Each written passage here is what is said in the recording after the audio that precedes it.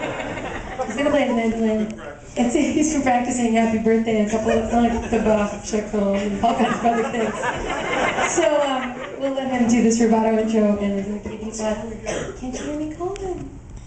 Yeah, B flat. Yeah.